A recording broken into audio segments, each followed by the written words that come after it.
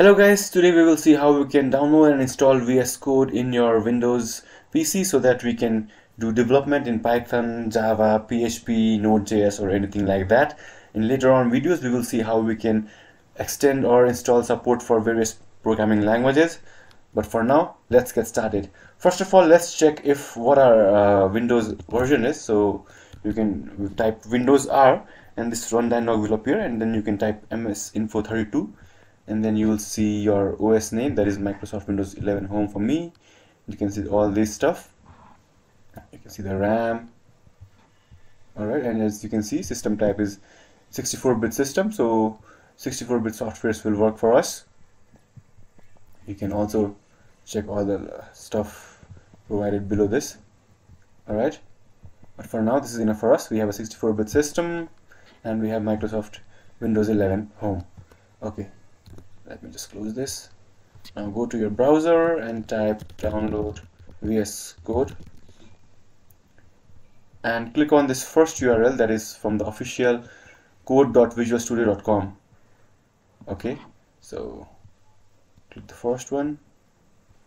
And then you need to download for Windows 11 as we saw our system is 64-bit system.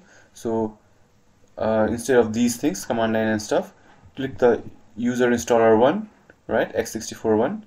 Click on this x64 and now your download should be started and it is downloading as you can see. If it does not download you can just click on this direct download link and then it will download. Okay? So let's wait till this is downloaded. So now this is that now that this is downloaded you can just click open file or you can just go where it is and then double click to open it. So I'll just click open file and the installer will open accept the agreement click next and you can change the directory wherever you want to install this uh, application. But for now I'll just leave it in the default directory. You can also leave it in the default directory. And just hit next. You can create a desktop icon. Let's create a desktop icon. Add path so that our code command will work. So this uh, keep these checked. All right and click next install. Now our VS Code is installing. Okay so now there is this option to launch Visual Studio Code. So I can finish this and the Visual Studio Code will be launched. As you can see it is launched. Now you can open a file or open a folder and all that stuff.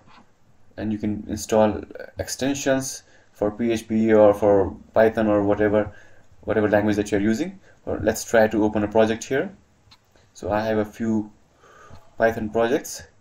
Let's try to open those things and let's see if it works or not. So I'll just create a flask project right? So I'll select the folder.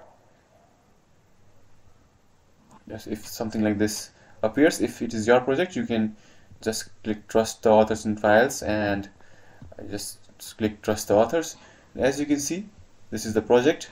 The project is open and this is my main.py file. And everything seems to be working pretty well. Let me know if you have any questions. I'll help you out. Peace out